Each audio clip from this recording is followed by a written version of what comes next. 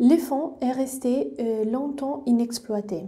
Une première étude d'une partie de la documentation a été réalisée aux années 90 par Marine Fromanger, élève à l'époque du professeur Yves Porter de l'Université d'Aix-Marseille. Marine Fromanger a réalisé un inventaire détaillé du fonds, puis étudié la partie de la documentation concernant les missions d'Harry Violet en Iran pour sa thèse doctorale.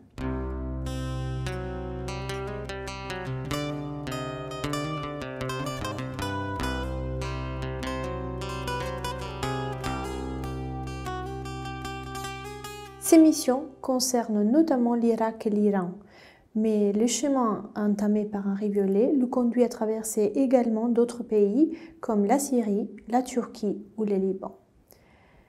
De ces voyages, Henri Violet rapporte une documentation riche et variée qui constitue aujourd'hui les fonds violets déposés à la Bulac.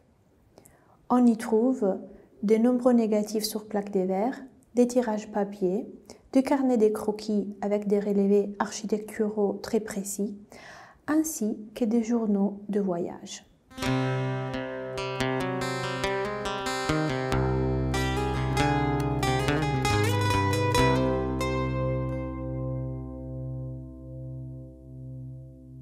Dans cette exposition, on a voulu montrer la variété et la richesse de la documentation rapportée par Violet de ses voyages.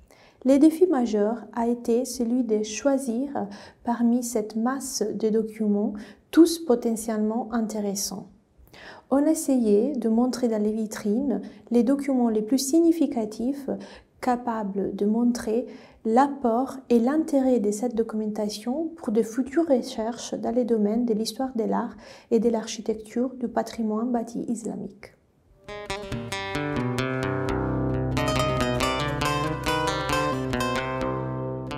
L'exposition est organisée en cinq vitrines. La première concerne le voyage exploratoire d'Henri Violet en Égypte et au Soudan. Les trois vitrines centrales concernent les voyages d'Henri Violet à cheval d'Alep à Bagdad et la découverte d'un site majeur du patrimoine archéologique islamique, la ville de Samara.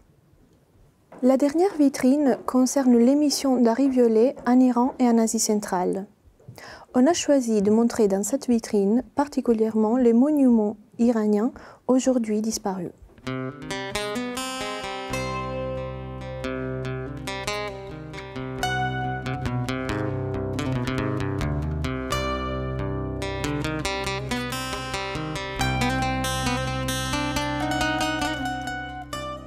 Dans cette première vitrine, nous trouvons une partie de la documentation rapportée par Henri Violet de son premier voyage exploratoire en Égypte et au Soudan.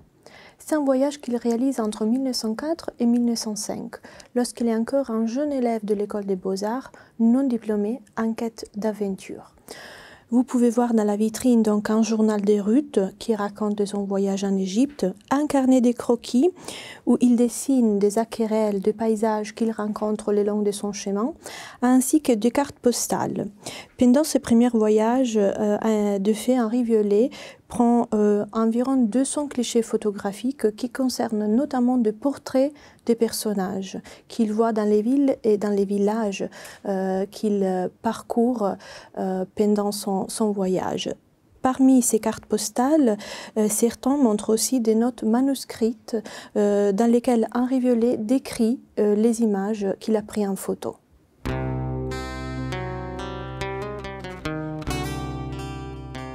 Nous sommes maintenant devant les trois vitrines qui constituent les cœurs de l'exposition. Les documents exposés dans ces vitrines retracent l'itinéraire d'Henri Violet, les langues de l'Euphrate, de la Syrie à l'Irak. Euh, c'est un parcours qui est réalisé en 28 jours et euh, pendant euh, son chemin, il visite plusieurs villages où il documente des, éléments du patrimoine bâti islamique peu connus à l'époque. Euh, c'est un chemin que Henri Violet euh, réalise euh, avec sa femme Madeleine à Dodin ou à cheval. Il faut réfléchir sur le fait qu'à l'époque, les voyages étaient difficiles et parfois très dangereux. Henri Violet voyageait en voiture hippomobile ou en caravane et avait avec lui un équipement très lourd car il réalisait et développait ses photos sur place. Les documents euh, exposés dans les vitrines sont euh, multiples et variés. Euh, ici, vous trouvez un, journal des routes où Henri Violet note la description de son voyage à cheval d'Alep à Bagdad. Ce journal des routes a fait l'objet par la suite d'une publication en 1907 dans le journal Le Monde illustré où Henri Violet décrit son voyage dans un article intitulé les charmes du désert d'Alep à Bagdad à cheval. Pendant ce long parcours de la Syrie à l'Irak, euh, Henri Violet a aussi l'occasion de visiter un site euh, important, euh, le mausolée d'Imam Dour. Cet édifice, un chef-d'œuvre de l'architecture islamique d'époque médiévale, a aujourd'hui malheureusement disparu car il a été détruit en 2014 par l'État islamique. Nous nous trouvons ici devant euh, un édifice, euh, un monument important, euh, car c'est l'un des premiers mausolées d'Irak qui montre un, tambour octogonal sur lequel s'élevait un dôme à Mukarnas. Une procédé de couverture ensuite répandue en Irak, dont les mausolées d'Imam Dour sembleraient être les premiers témoignages connus à ce jour. Cette vitrine haute à côté de moi est entièrement consacrée à Samara. La ville de Samara, située à 130 km au nord de Bagdad, était l'ancienne capitale du califat abbasside de 832 à 886. Abandonnée très tôt, à peine 50 ans après son édification, la ville n'a pas été euh, intégrée dans un tissu urbain d'époque moderne et conserve donc son plan d'origine. Euh, elle est la seule vestige euh, matériel euh, qui aujourd'hui est conservé de l'architecture du califat abbasside à l'époque de son apogée. Henri Violet se rend sur les sites à deux reprises, en 1907 et en 1910. Il documente les ruines qu'il découvre, dessine des relevés architecturaux très précis et euh, entame aussi les premières fouilles sur les sites. Néanmoins, euh, cette capitale deviendra célèbre grâce euh, aux fouilles et aux publications de deux, deux archéologues allemands, Friedrich Sarre et Ernst Herzfeld. Henri Violet publie très peu ses travaux et euh, Sarre et Hersfeld ne font pas euh, assez mention euh, de sa visite sur les sites avant leur arrivée. Néanmoins, dès ce retour en France, Henri Violet publie un article dédié à la série des mémoires des savants étrangères de l'Académie des belles-lettres consacré à ses fouilles pionnières à Samara. Dans cette vitrine, on a donc choisi d'exposer notamment les travaux préparatoires à cette publication. Euh, dans l'étagère en bas, vous trouvez euh, des essais d'impression de ces planches euh, avec une technique utilisée à l'époque, celle du cyanotype. Dans l'étagère intermédiaire, un dessin qui correspond aux, planches euh, de l'article fait à la main par un Violet des certains détails, fragments de décoration architecturale en stuc qu'il euh, repère sur site.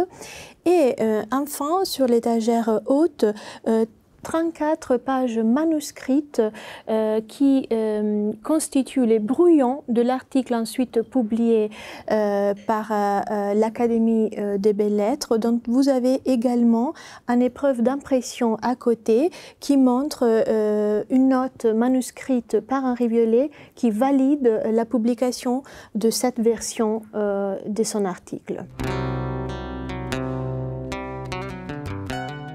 Nous finissons l'exposition par euh, cette dernière vitrine qui concerne l'émission d'Henri Violet en Iran et en Asie centrale. Henri Violet euh, accomplit deux missions euh, en Perse, euh, pendant lesquelles il visite 40 sites différents et documente environ une centaine de monuments.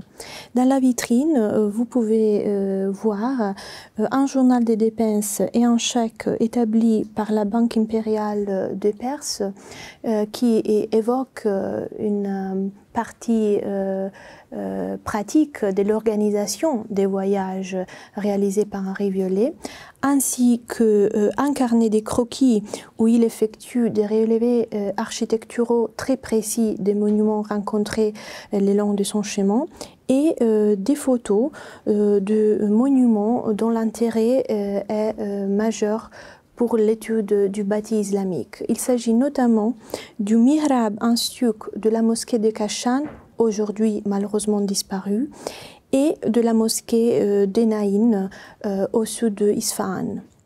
La mosquée de Naïn, c'est un monument important sur lequel euh, je voudrais euh, insister, car c'est Henri Violet le premier que euh, prend en photo ce monument au début du XXe siècle.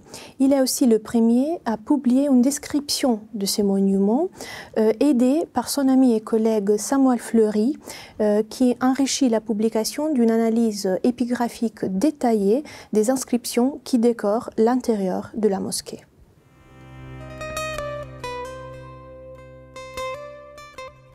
La ville archéologique de Samara, le Mirab stuc de la mosquée des Cachans, ainsi que d'autres monuments présents dans l'exposition ont fait l'objet de recherches des spécialistes du domaine qui ont présenté leurs résultats préliminaires lors des journées d'études organisées par la Bibliothèque universitaire de langues et civilisations et les centres de recherche sur le monde iranien les 23 et 24 juin à la Bulac.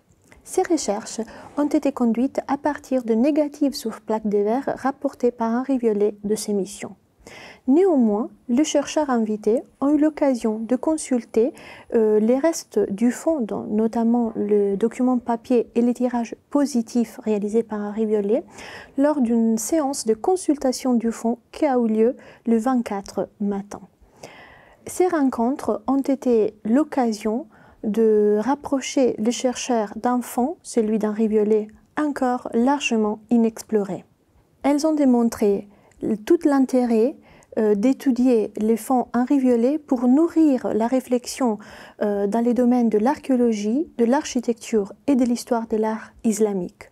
Ces documents, précieux et pour la plupart inédits, permettent d'ouvrir de nouvelles pistes de recherche dans ces domaines.